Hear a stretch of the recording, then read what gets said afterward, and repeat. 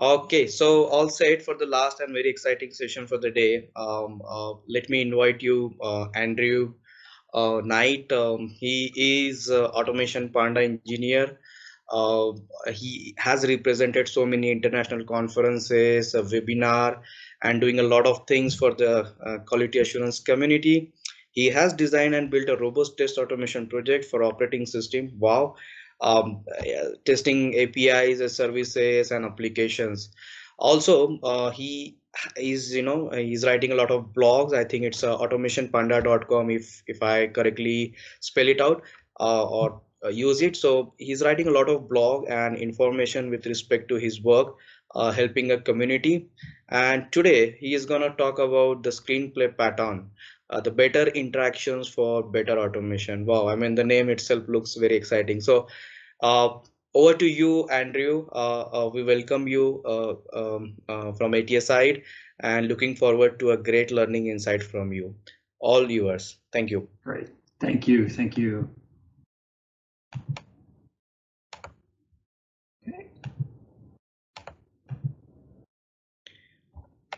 Uh, Can yeah, everyone see my screen? uh, we can see you, but uh, uh, I'm not sure, but I'm not able to see your slides if you are sharing anything. Let me try that again. One moment.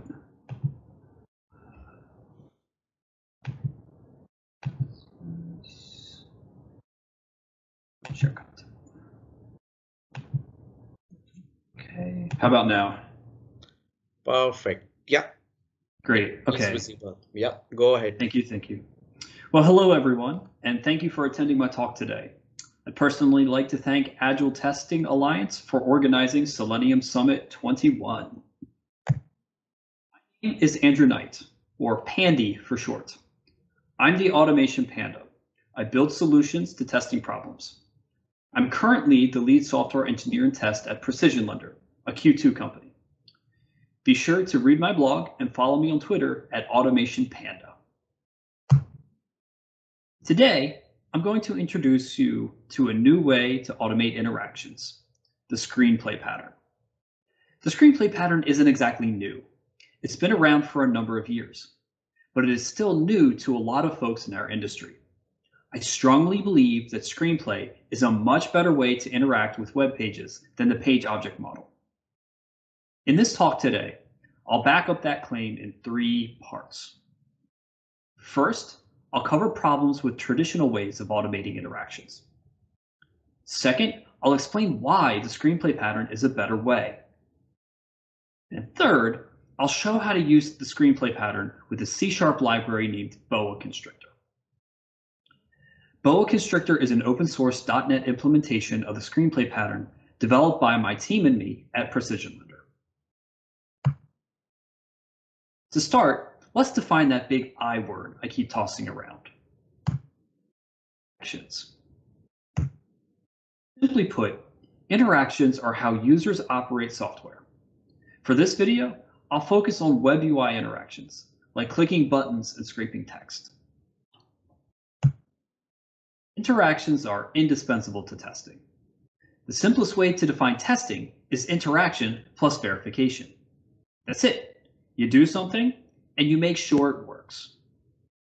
Think about any functional test case that you've ever written or executed. The test case was a step-by-step procedure in which each step had interactions and verifications. Here's an example of a simple DuckDuckGo search test. DuckDuckGo is a search engine like Google or Yahoo. The steps here are very straightforward. Opening the search engine requires navigation. Searching for a phrase requires entering keystrokes and clicking the search button. Verifying results requires scraping the page title and result links from the new page. Interactions are everywhere. Unfortunately, our industry struggles to handle automated web UI interactions well. Even though most teams use Selenium WebDriver in their test automation code, every team seems to use it differently. There's a lot of duplicate code and flakiness too. Let's take a look at the way many teams evolve their WebDriver based interactions. I will use C Sharp for code examples, and I'll continue to use DuckDuckGo for testing. When teams first start writing test automation code using Selenium WebDriver, they frequently write raw calls. Anyone familiar with the WebDriver API should recognize these calls. The WebDriver object is initialized using, let's say, Chrome driver for the browser. The first step to open the search engine calls driver.navigate.goToURL with the DuckDuckGo website address. The second step performs the search by fetching web elements using driver.findElements with locators, such as by.id, and then calling methods like sendKeys and click. The third step uses assertions to verify the contents of the page title and the existence of result links. Finally, at the end of the test, the WebDriver quits the browser for cleanup. Like I said, these are all common WebDriver calls. Unfortunately, there's a big problem with this code. Race conditions. There are three race conditions in this code in which the automation does not wait for the page to be ready before making interactions. WebDriver does not automatically wait for elements to load or for titles to appear. Waiting is a huge challenge for web UI automation, and it is one of the main reasons for what we call flaky tests.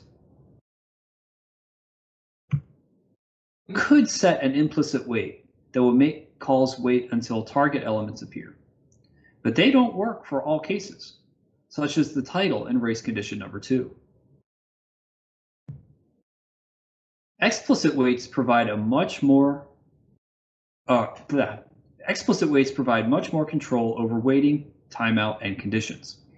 They use a WebDriver wait object with a preset timeout value, and they must be placed explicitly throughout the code. Here, they are placed in the three spots where race conditions could happen. Each wait.until call takes in a function that returns true when the condition is satisfied. These waits are necessary, but they cause new problems. First, they cause duplicate code because the web element locators are used multiple times. Notice how search form input homepage is called twice here. Second, raw calls with explicit waits make code less intuitive. If I remove the comments from each paragraph of code, like I just did, what's left is a wall of text. It is difficult to understand what this code does at, a glance.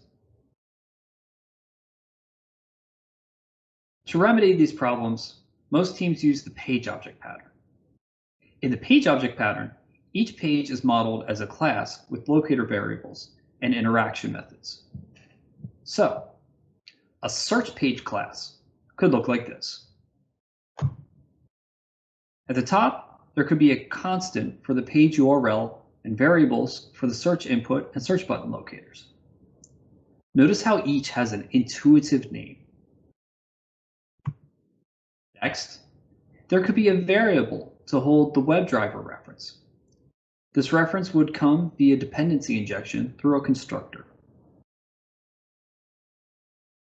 The first method would be a load method that navigates the browser to the page's URL. And the second method would be a search method that waits for elements to appear, enters the phrase into the input field, and clicks the search button. This page object has a decent structure and a mild separation of concerns. Locators and interactions have meaningful names. Page objects require a few more lines of code than raw calls at first, but their parts can easily be reused.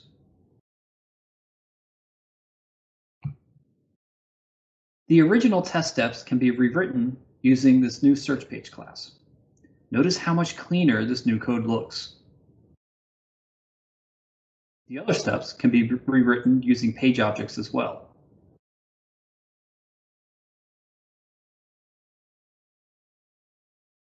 Unfortunately, page objects themselves suffer problems with duplication in their interaction methods. Suppose a page object needs a method to click an element. We already know the logic. Wait for the element to exist, then click it. But what about clicking another element? This method is essentially hard-coded for one button. A second click method is needed to click the other button. Fortunately, the code for both methods is the same.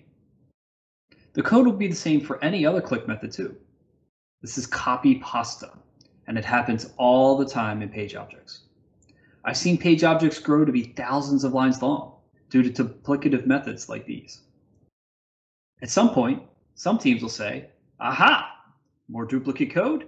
We can solve this problem with more object-oriented programming. And they'll create the infamous base page a parent class for all other page object classes. Base page will have variables for WebDriver and the wait object. We'll also provide common interaction methods, such as this click method that can click on any element. Abstraction for the win, right? Child pages will inherit everything from the base page. Child page interaction methods frequently just call base page methods. I've seen many teams stop here and say, this is good enough. Unfortunately, this really isn't very good at all. The base page helps mitigate code duplication, but it doesn't solve its root cause. Page objects inherently combine two separate concerns, page structure and interactions. Interactions are often generic enough to be used on any web element. Coupling interaction code with specific locators or pages forces testers to add new page object methods for every type of interaction needed for an element. Every element could potentially need a click, a text, a displayed, or any other type of WebDriver interaction. That's a lot of extra code that shouldn't be necessary. The base page also becomes very top heavy as testers add more and more code to share. Most frustratingly, the page object code I showed here is merely one type of implementation. What do your page objects look like? I bet dollars to donuts they look different than mine. Page objects are completely freeform. Every team implements them differently. There's no official version of the page object pattern. There's no conformity in its design. Even worse, within its design, there's almost no way for the page object pattern to enforce good practices. That's why people argue over things like whether page object locators should be public or private. Page objects would be better described as a convention than a true design pattern. There must be a better way to handle interactions. Thankfully, there is.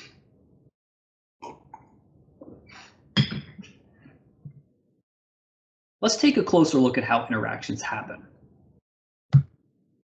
First, there's someone who initiates the interactions. Usually, this is a user. They're the ones making the clicks and taking the scrapes. Let's call them the actor. Second, there's this thing under test. For our example in this talk, that's a web app. It has pages with elements. Web page structure is modeled using locators to access page elements from the DOM. Keep in mind though, the thing under test could also be anything else, like a mobile app, microservice, or even a command line. Third, there are the interactions themselves. For web apps, they could be simple clicks and keystrokes, or they could be more complex interactions, like logging into the app or searching for a phrase. Each interaction will do the same type of operation on whatever target page or element it is given. Finally, there are objects that enable actors to perform certain types of interactions. For example, Browser interactions need a tool like Selenium WebDriver to make those clicks and take those scrapes. Let's call those things abilities. Actors, abilities, and interactions are each different types of concerns. We could summarize their relationship in one line. Actors use abilities to perform interactions. Actors use abilities to perform interactions. This is the heart of the screenplay pattern. In the page object convention, page objects become messy because concerns are all combined. The screenplay pattern separates concerns for maximal reusability and scalability. So, let's learn how to use screenplay using Boa Constrictor. Boa Constrictor is an open source C-sharp implementation of the screenplay pattern that my team and I developed at PrecisionLender. Like I said before, it is the cornerstone of PrecisionLender's end-to-end test automation solution. It can be used with any .NET framework, like SpecFlow or NUnit. The GitHub repository name is q2ebanking slash boa-constrictor, and the NuGet package is named boa.constrictor. Let's rewrite that DuckDuckGo search test from before using Boa Constrictor. If you're watching this live or watching the recording, I recommend just reading along with the code as it appears on the screen to get the concepts. Trying to code along in real time might be a challenge. After the talk, you can take the official Boa Constrictor tutorial to get hands-on with the code. To use Boa Constrictor, you will need to install the Boa Constrictor and Selenium WebDriver NuGet packages. My example code will also use Fluent assertions and Chrome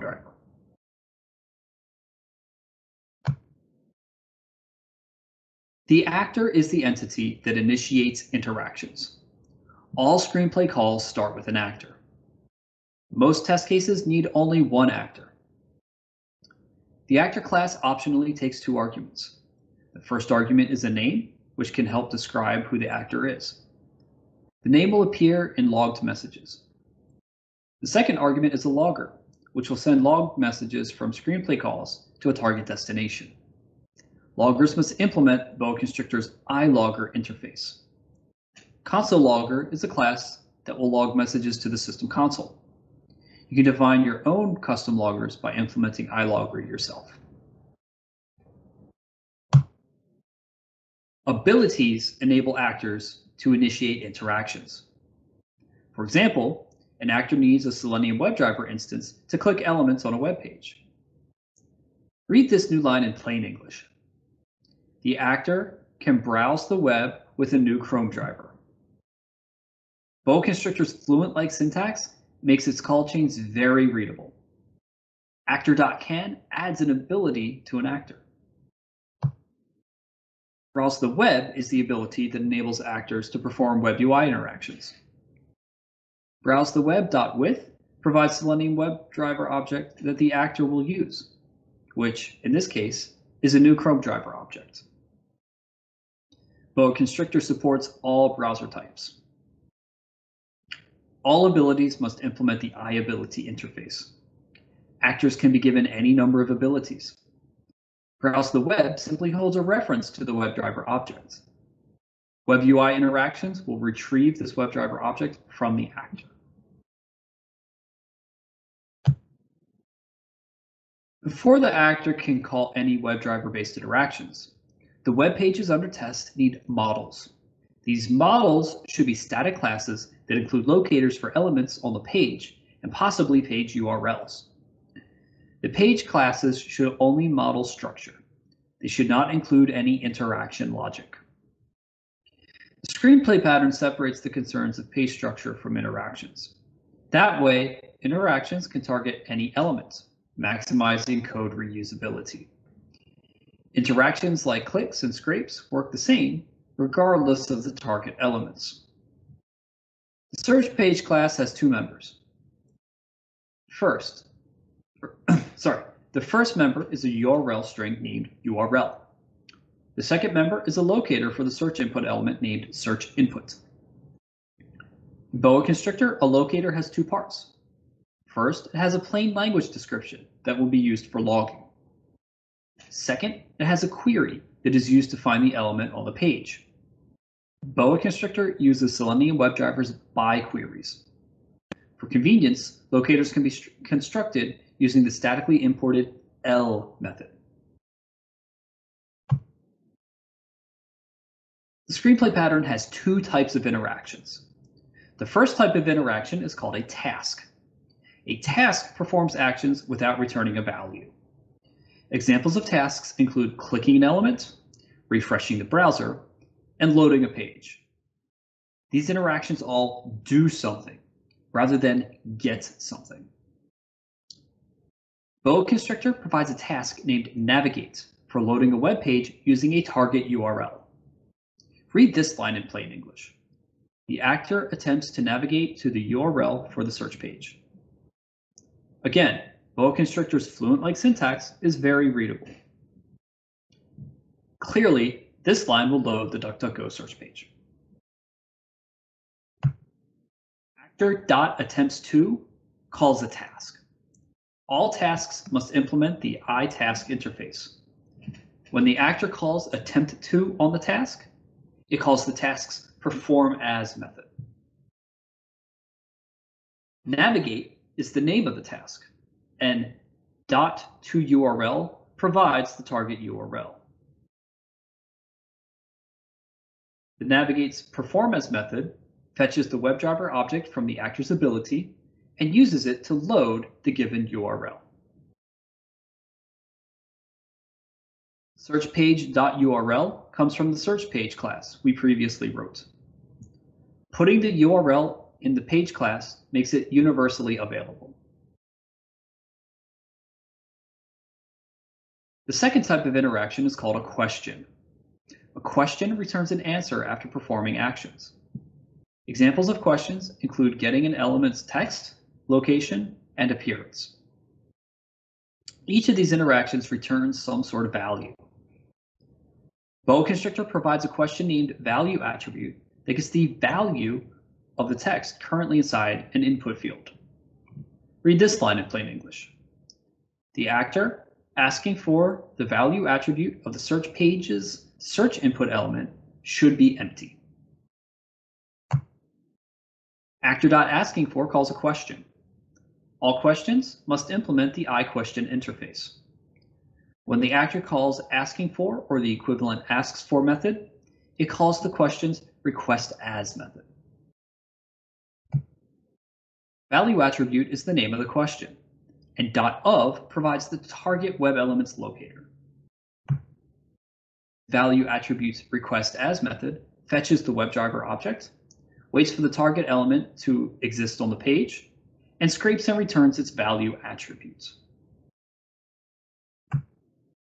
Search page search input is the locator of the search input. It comes from the search page class. Finally, once the value is obtained, the test must make an assertion on it. Should be empty is a fluent assertion that verifies that the search input field is empty when the page is first loaded. The test case's next step is to enter a search phrase. Doing this requires two interactions. Typing the, typing the search phrase into the search input and clicking the search button. However, since searching is such a common operation, we can create a custom interaction by composing the lower level interactions together. The search DuckDuckGo task takes in a search phrase.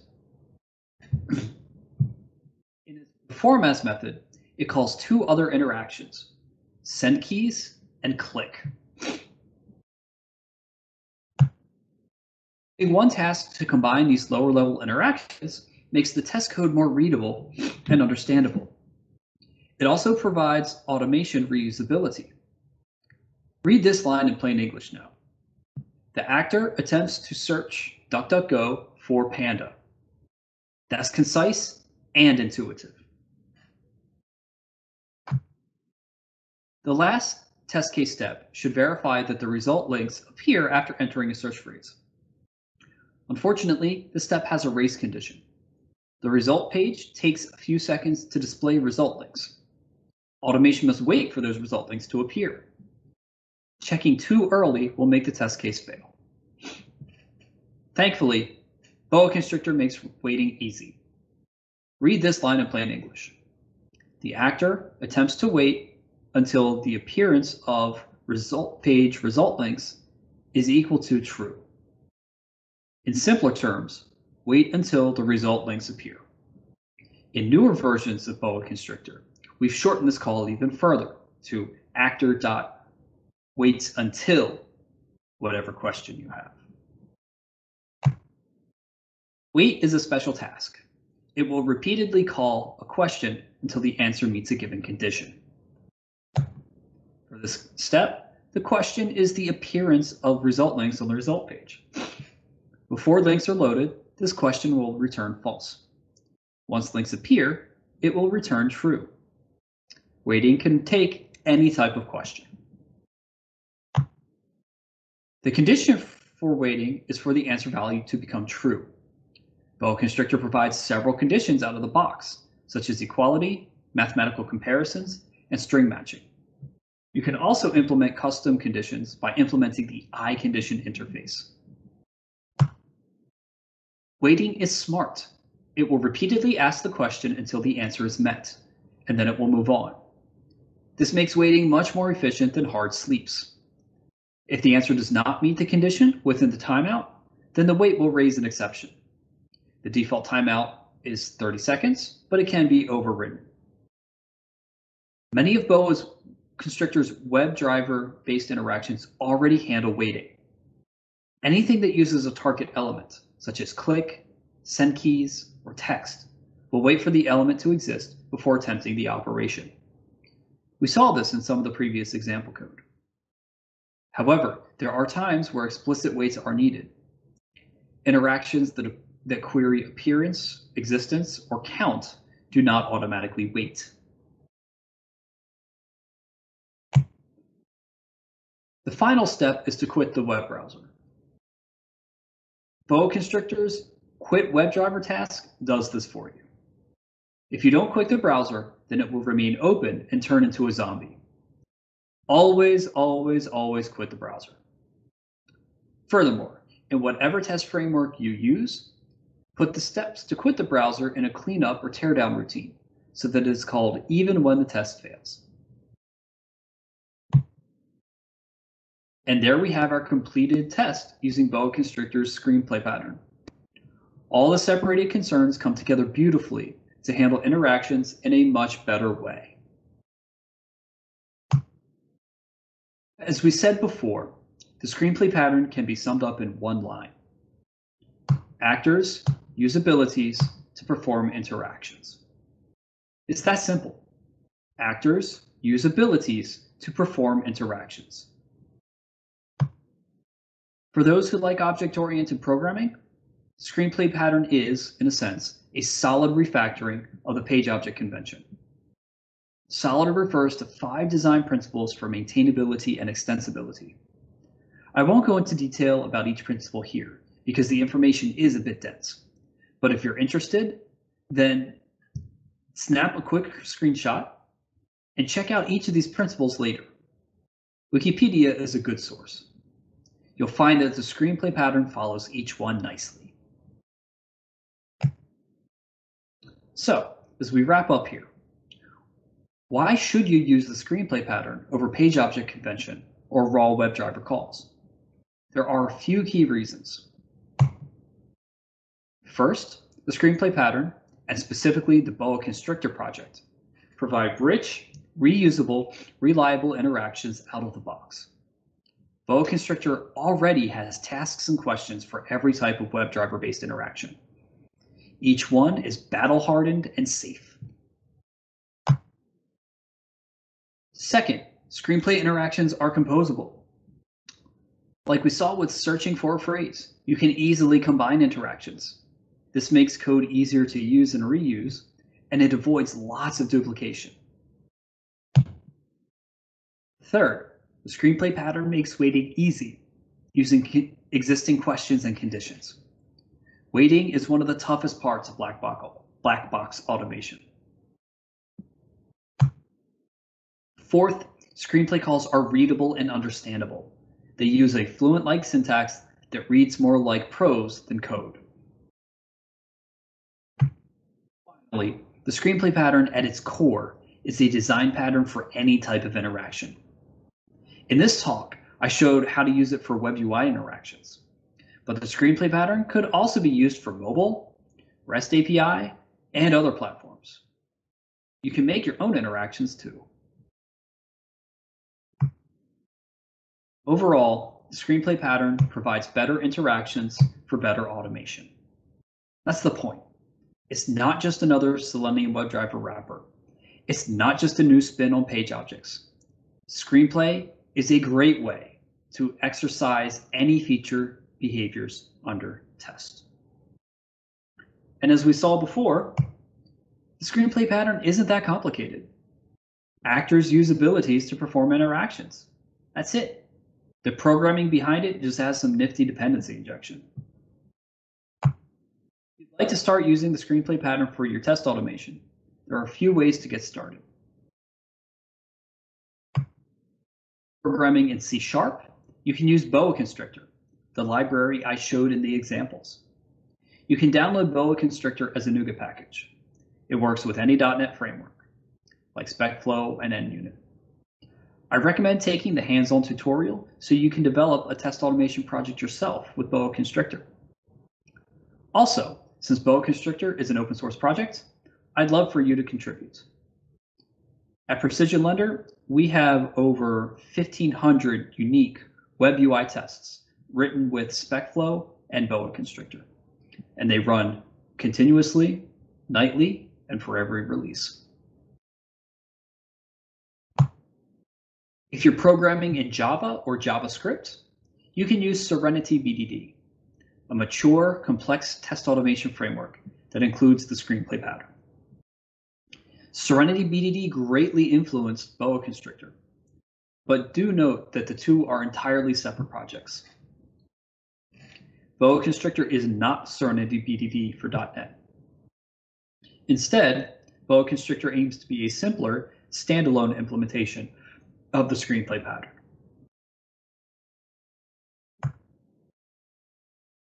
If you're programming in Python, hold on to your seats.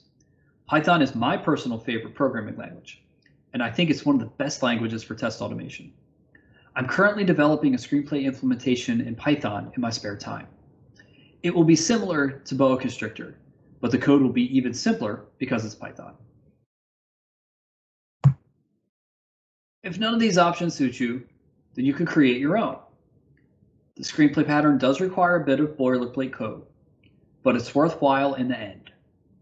You can always reference code from Boa Constrictor and Serenity BDD.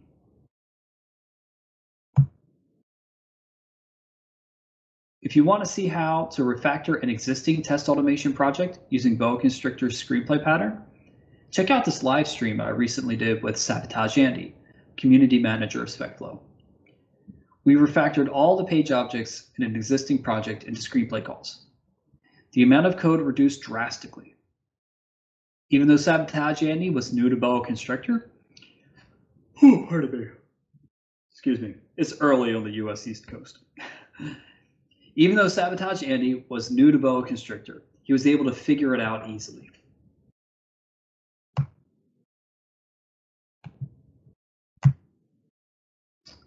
So, thank you so much for taking time to learn more about the screenplay pattern and the Boa Constrictor project with me. I'd like to give special thanks to everyone at PrecisionLender and Q2 who helped make Boa Constrictor's open source release happen. Again, my name is Andrew Knight. I'm the Automation Panda. Be sure to read my blog, follow me on Twitter, and reach out to me if you'd like to join the Boa Constrictor project. Thank you very much.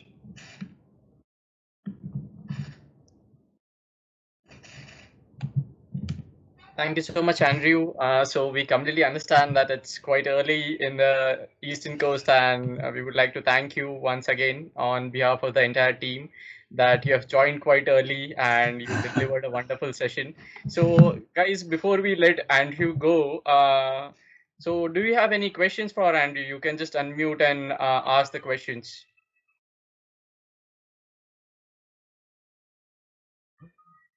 I think there are a lot of comments which are coming up uh, that your session was really great. So, do you have any questions? Uh, if you have, you can just unmute and ask them. Uh, Andrew Srinath here. Uh, how different is uh, uh, it is compared with the uh, adapter pattern? Um, I'm not familiar with the adapter pattern. Okay, okay. Sorry. Uh, no, no, no, no worries.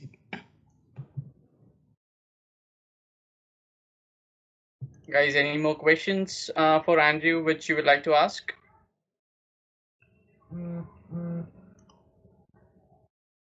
Andrew, maybe you can share uh, the link that you mentioned that we should check it out. Sure. One of the videos, you can uh, drop it in the chat. Maybe that might be helpful.